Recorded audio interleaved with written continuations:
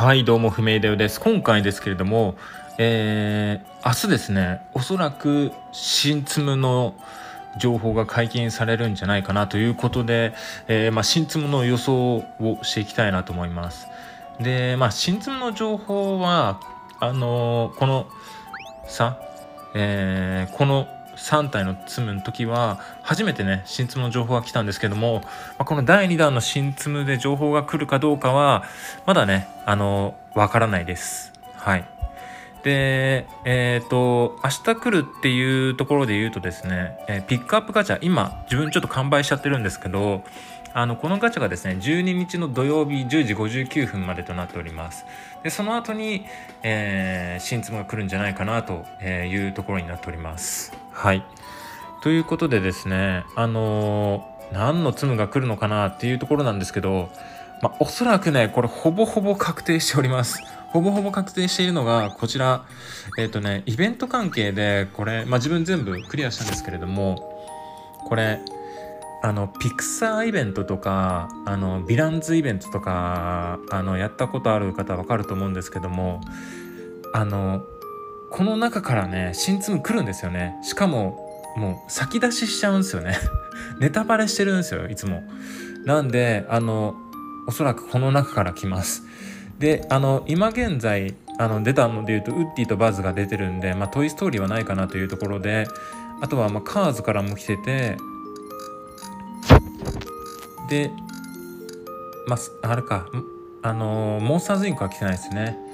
で、ニモはね、これハンクが来てるんで、個人的なこのね、あの、ハンク来てほしかったんですけど、ね、ハンクじゃねえ、サメさん来てほしかったんですよね。ジンベエザメ。マーリンでもよかったけど、マーリンだったっすよね、これ確か名前。マーリンがさ、確か木梨、木梨憲武さんが確か声優だった気がします。はい。であとモンスターズインクに関してはあのこの左上と右下のキャラクターちょっと名前わからないですがこのツムが来る可能性が一応あるかなというとこですね。であとねこちらインサイトヘッドっていう、えー、映画だと思うんですけど自分見たことないんであの全然知らないんですけど左上と左上がね悲しみっていうキャラクターでこの真ん中がねあの喜びっていうキャラクターなんですけどで左下右下右上はねキャラクター名がわからないです。このインサイトヘッドがねから新ツムが来るんじゃないかなと予想しております。で多分ここから絶対に来る。と言っても過言ではない。でねインサイトヘッドとかそもそもちょっと名前間違ったら申し訳ないんですけどこれのねあの公開日もね6月らしいんですよどうやら。あのリスナーさんのコメントで書いてあったんですけどこれの公開日がねなんと6月らしくてガッガッガッガッガッガッガッガッっていう感じでねあの暑いぞということですね。暑いというかまあ多分これが来るっていうのが、えー、分かっております。ちなみにね、つむったでもうすでに登場してるんですけれども、喜びも悲しみもですね、両方とも強いツムなんですね。喜びはこのツムなんですけど、もう片方のマイツムをね、スキルチャージするというあのー、ツムなんですけれども、これね、最初報酬ツムだったんですけど、これめちゃくちゃ強くてね、みんな使ってました。はい。コンボ稼げて、えー、マイツムスキルチャージができるんでね、あのスコアがかなり出るんでねあのすごい使ってましたね皆さんね。で悲しみに至ってはねあのマジで強くてね今現在でもちょっとマレフィセントというぶっ壊れが来る前は本当に最強ツムの一つで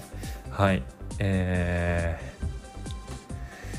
ー、あそのね、まあ、ツムスタ界ではかなり有能なツム2つなんでちょっとねツムツム界でも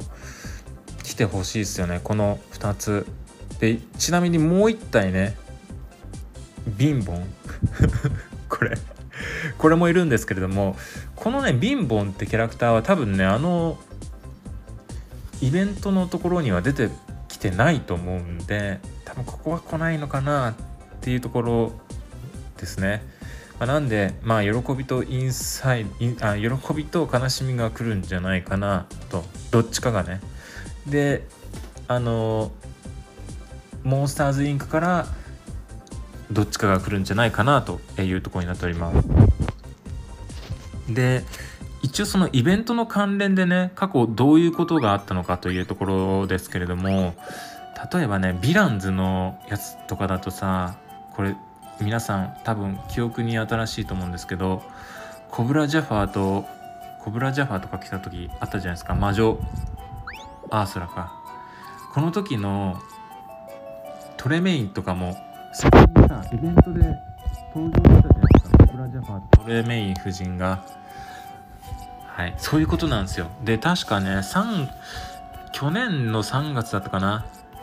このエミューランドールとかが来た時もですね確かねあのはい。先に 来ておりました。確かフリックとフリックとか来てたっすよね情報が。そうなんすよそうなんですよ。来てたんですよ。っていう感じでね基本的にねピクサーイベントとあのヴィランズイベントに関してはかなり関係性があるのではい。えー、まあ新ツムとしてね登場するのが濃厚なんじゃないかなと思います。でもしピクサーイベントと無関係で来るのであればこのね、まあ、ツムスタツムスタ界で言うとですねツムスタ界で言うと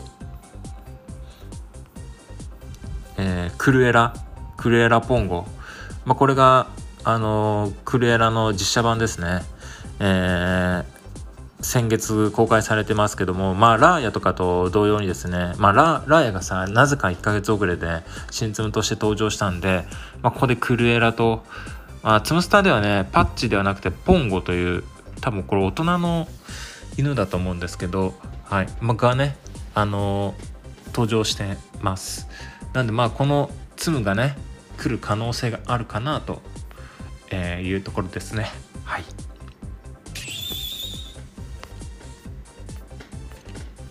はい。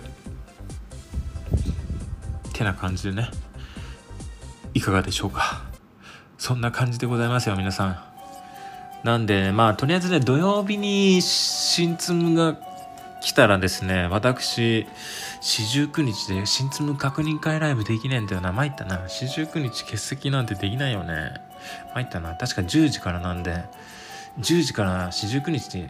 でもポンポンやって1時間ぐらいで終わるんやったっけ？あでも納骨と納骨とかもあるんやったっけ？まずいな。